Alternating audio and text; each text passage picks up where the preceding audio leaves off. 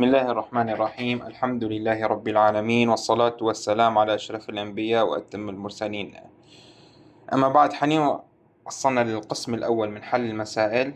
هو عبارة عن ثلاث مسائل نستخدم فيهم ال equation. قبل ما نتطرق إلى psychrometric psychrometric المهم ال chart psychrometric chart فنبدأ. بسم الله الرحمن الرحيم. نقول عنا هون 5 متر multiply by 5 متر multiply by 3 meters room. يعني الأبعاد 5 بخمسة بثلاثة. الطول بالعرض بالارتفاع. Contains air at 25 degrees Celsius and 100 كيلو باسكال at relative humidity. خلينا نكتب أول شيء نبدأ حبة حبة. عنا معناتها هون نقول الفوليوم تساوي 5 multiply 5 multiply 3 بتساوي 7.5 meter cube. The اللاكون room contains uh, 25 degrees celsius يعني درجة حرارة الغرفة 25 درجة مئوية. والبرشر 100 كيلو باسكال بالغرفة. وإنه هون كمان relative humidity is 75% بنقول هون.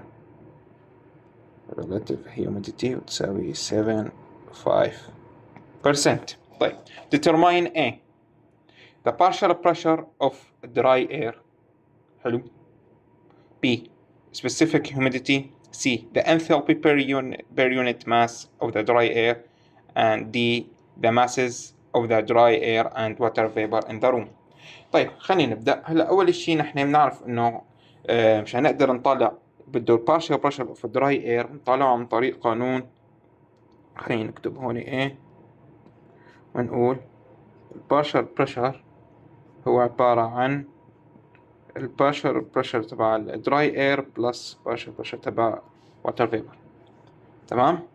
نحن هلأ عنا عنا هاد اسمعنا هدول الاثنين كيف بدنا نطالعهم؟ لك بسيطة. أول شي شو عنا هنا نحن قانون ال relative humidity هو عبارة عن PV over ال PG طبعا نحن عنا ال PG مثل ما أخذنا بال theoretical سلايدات ال theoretical هي عبارة عن ال P saturated في درجة حرارة الغرفة واللي هي رح تكون شو؟ هاي خمسة وعشرين درجة مئوية. معناتها إذا PG وتساوي. طبعا هم طالعين إحنا من وين؟ من ال table نروح from table A4 لك هون from table A4 طيب. بيطلع لنا هون قيمة ال PG من ال table 3 0.1698 كيلو باسكال معناتها هلا عن طريق قانون ال relative humidity بنطلع ال partial pressure تبع ال water vapor وهو عبارة عن relative humidity مضروب مضروب في ال PG وتساوي طبعا هي P وليس D وتساوي آه اللهم صل على النبي 0.75 مضروبة في 3.1698 وتساوي 2.37 كيلو باسكال. طيب طلعناها نحن هلا هون نيجي نعوض بالقانون مباشرة. بنقول لك معناتها ال PA وتساوي ال pressure minus PV وتساوي 100 minus 2. 37 وتساوي 97.62 كيلو. باسكال طلعنا أول متطلب نيجي هلا المتطلب الثاني المتطلب الثاني شو بيقلنا بيقول the specific humidity. بسيطة قانون specific humidity. وتساوي 0.622 multiply by partial pressure تبع water vapor على partial pressure تبع الدراي air. وتساوي 0.622 multiply by uh, 2.37 على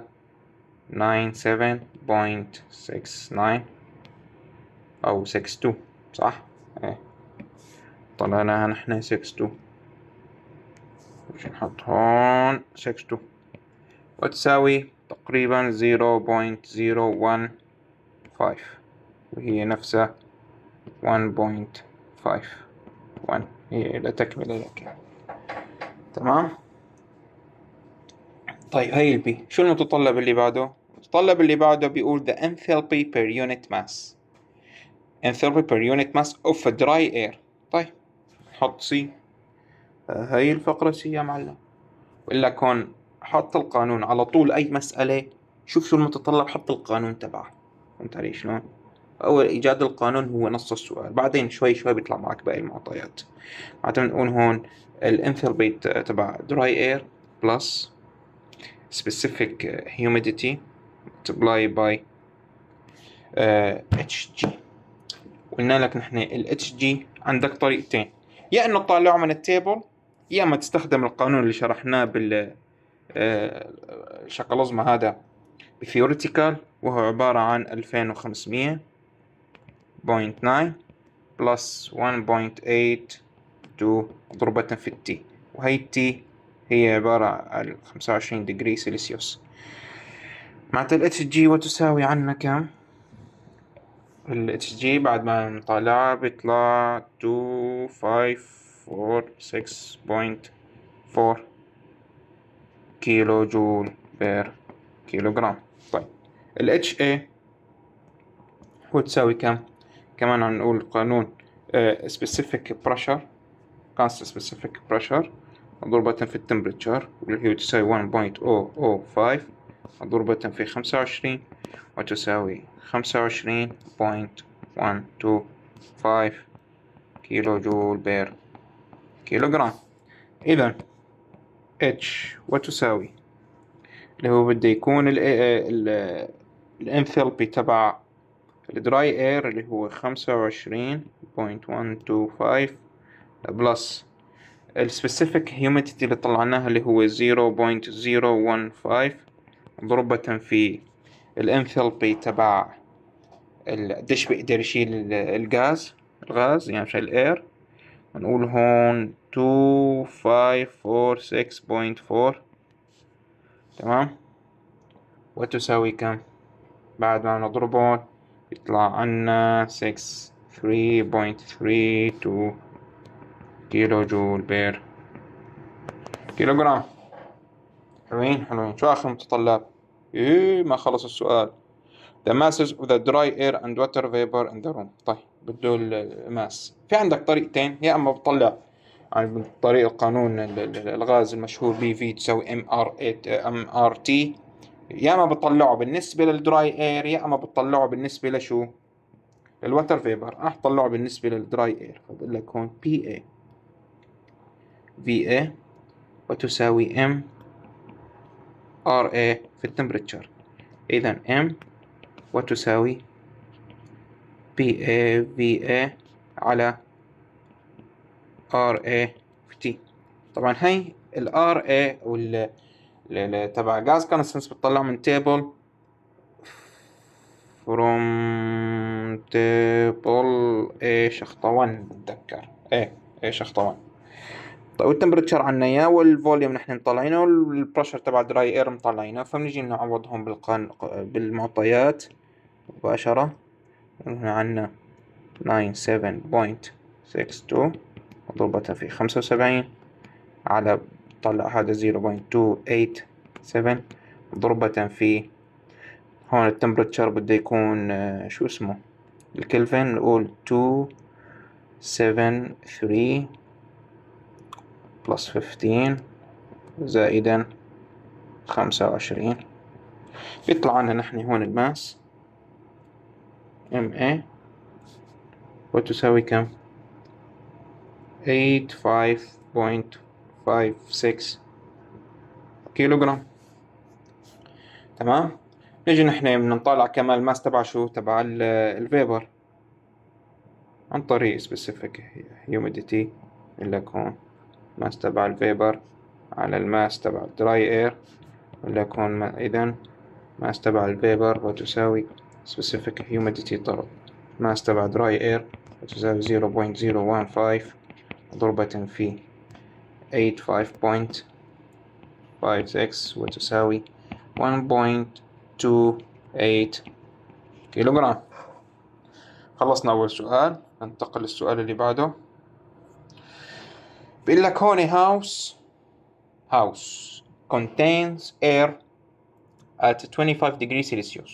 طيب نقول هون درجة حرارة الهاوس تي هاوس تساوي 25 degree Celsius with relative with 65% relative humidity عندنا relative humidity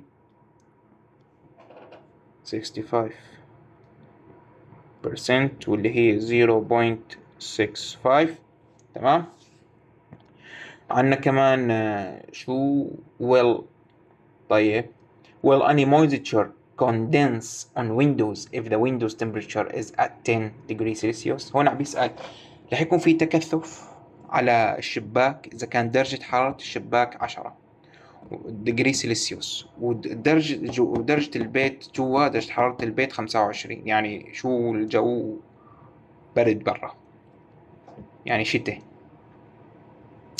هون عاد عم بيسأل رح يصير condense ولا ما حيصير condense هلا بنقول له رح نشوف نعمل الحسابات. نحط هون ال temperature تبع ال windows windows 7 windows تبع البيت.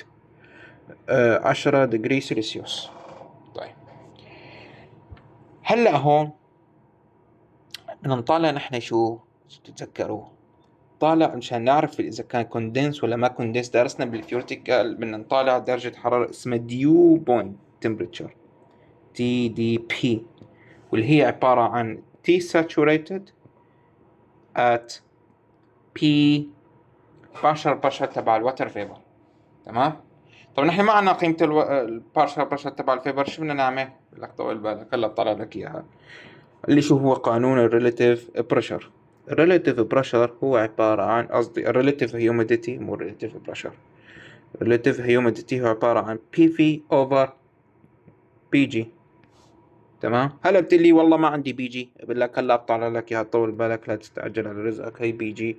Pg قانونها بيقول لك هو عبارة عن pressure saturated at temperature. طبعا هون temperature تبع شو؟ تبع الغرفة. يعني هاد خمسة وعشرين مو خمسة وعشرين إيه خمسة وعشرين degree Celsius معناتها اذا ال Pg مطلعها من ال table تمام؟ table A4 هي شخطة فور أه يطلع عنا ال Pg. كم يطلع عنا ال Pg؟ three point one six nine eight kilopascal تمام؟ تمام. بعدها نيجي هون بنطلع قيمة ال Pv عن طريق القانون لك هون تبع relative pressure Pv إذا Pv وتساوي relative humidity بقول لك relative pressure. قصدي relative humidity ماسكة معي ال pressure ضرب pressure تبع الغاز اللي طلعناه وتساوي 0.65 multiply by 3 1 3.1698 بيطلع عنا 2.06 تقريبا 2 كيلو باسكال تمام؟ عشان نجي نكون سهل علينا بالجدول نيجي معناتها هلا. اذا dew point temperature Tdp تساوي T saturated Pv at 2 كيلو باسكال نروح على الجدول تبع ال A شخطة 5 بنروح على 2 كيلو باسكال بيطلع عنا درجة الحرارة كم؟ 17 ونص degree Celsius. نيجي هلا بنشوف نحط الشرط. هل تحقق ولا لا؟ هل درجة حرارة Tdp ايمتى بده يصير condense بصير condense بصير في تكثف؟ بصير في شكلزمة إذا كان Tdp is bigger than T تبع ال window windows شنو شو هال windows اللي كتبتها windows. المهم تمام؟ نحن طبعا عندنا كم عندنا ال Tdp؟ يقول لك والله هون 17 ونص. كم عندي درجة حرارة الويندوز؟ 10 معناته أكبر. بتحقق الشرط. معناته إذا it will condense condense تمام؟ تمام. نجي على السؤال اللي بعده. السؤال اللي بعده والأخير بهالمقطع الفيديو قبل ما نروح على حفلة السايكومتريك ساي هذا مهم التشارت أه بقول السؤال الثالث. Atmospheric air at 30 degrees Celsius is passed through a cooler water. تمام؟ Through a cooler water begins to condense out of the air at 20 degrees Celsius mm-hmm. if atmospheric pressure is 100 kilopascal find A specific humidity P relative humidity طيب نبدأ أول شيء بيقول لك هون uh, atmospheric air حلو ده at, شو هو ال atmospheric air بال theoretical نحن شرحناه atmospheric air اللي هو الهواء الذي يحتوي على رطوبة. تمام؟ بيقول لك هون آه بدرجة حرارة 30 درجة سيليسيوس آه عم بيمشي باتجاه طبعا هاي بيحكي جوات مكيف أتوقع. عم بيمشي باتجاه آه cooler. cooler فينك تقول coo coo coils ماشي؟ coil heat exchanger المهم اللي هو. طبعا هون صار على هال coil صارت المي شو؟ تتكثف على درجة حرارة 20 degree Celsius. وأنا أعطانا ال pressure اللي طلع لي specific humidity وطلع لي relative humidity بعدين نجي نكتب المعطيات. من أول شيء temperature. وتساوي 30 degree Celsius تمام؟ بقول لك هون water begins to condense out of the air at 20 degree Celsius. معناتها هي شو هي؟ هي dew point temperature. بقول T دي P. وتساوي 20 degree Celsius. وأعطاني البريشر اللي هو 100 كيلو. باسكال طيب. هلا نحن شو بده؟ بده شو؟ بده يطالع specific humidity. طيب نيجي نكتب قانون specific humidity. في عنا قانونين تتذكروا نحن وقت خلطنا هاد مع هاد أو هو نفسه يعني. إذا جينا مثلا لهون قلنا لك 0.622 وعبارة عن ال PV على ال PA صح؟ طب زلنا لك هذا ال PA مو ال PA هو عبارة من قانون ال pressure تبع PV plus PA إذا قلت لك أنا والله ال PA وتساوي P minus PV معناتها بمسح هاد بحط هاد مكانه. معناتها بعمل هيك. حلو. بحط أوه أنا بمسح ولا بكتب آه لا بكتب إيه بحط P minus PV حلو؟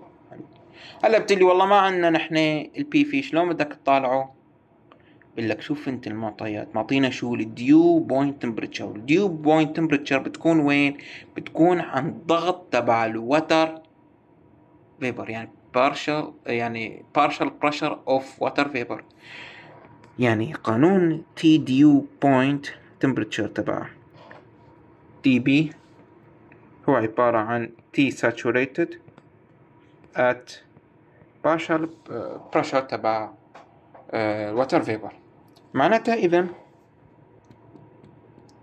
partial pressure وتساوي هو عبارة عن ال pressure saturated at TDP وعنا هاي TDP عشرين degree Celsius من ال tables مباشرة ال tables تبع ال A4 اللي هو تبع ال temperature ونشوف نحن درجة الحرارة. عند درجة الحرارة عشرين. كم ال pressure عنا يا؟ عنا يا ال pressure 2.3392